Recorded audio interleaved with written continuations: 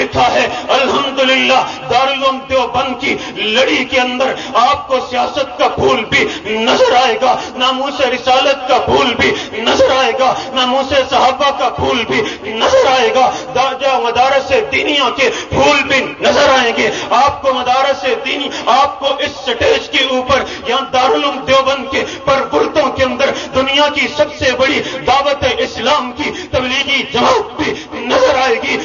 के अंदर, हर उठने वाली तहरीक आज़ादी के अंदर, जिहाद की तहरीकें भी नज़र आएँगी। आपको कासिम नानोत्वी से लेकर आज शेखुल हदीस, मौलाना सरफराज खान साहब सफ्तर तक एक क्या वो, एक एक फूल निराला नज़र आएगा। इन ये इदारा आपका इदारा है।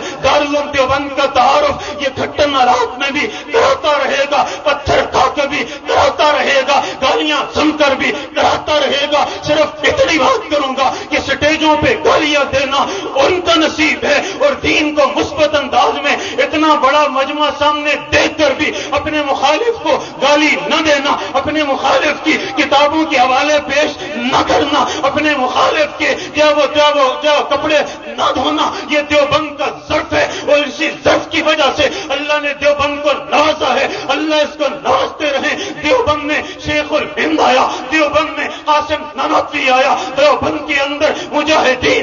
मुल्ला उमर आया। देवबंद के अंदर हज़रत हक नवाज़ जंगवी आया। देवबंद के अंदर मुनाजिर इस्लाम अल्लामा मोहम्मद अमीन सत्तर उकाड़वी आया। देवबंद के अंदर मुनाजिर इस्लाम अल्लामा अली शेर हैदरी आया। लेकिन हम मायूस थे। अल्लाह एक फूल आता है, दो सालों में चला जाता है। अल्लाह एक आता है, बादल उसको गोली का निशाना रब्बेजुल जलाल ने कहा, मायूस होने की ज़रूरत नहीं है। तुम्हारी बुनियादों में मोहम्मद रसूलुल्लाह की खाबे मौजूद है। हासिम नाथवी का जज्बा मौजूद है। मैं इस गे गुजरे दौर में जब दुनिया तुम्हें स्टेजों पे काफिर कहेगी, मैं तुम्हें एक बंदा अता करूँगा। जिस बंदे के पास अगर इलम होगा, उकाड़वी और सरफराज